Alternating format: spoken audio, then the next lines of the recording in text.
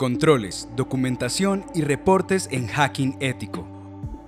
Hoy en día, el mundo digital ha transformado considerablemente la forma como se hacen las cosas y más cómo guardamos la información cuando hablamos sobre seguridad. Es importante tener en cuenta que se debe proteger dicha información y conocer metodologías y herramientas para ello, tal como lo refiere el cifrado de los datos, para que estos sean entregados con la integridad y legibilidad suficiente a las personas interesadas.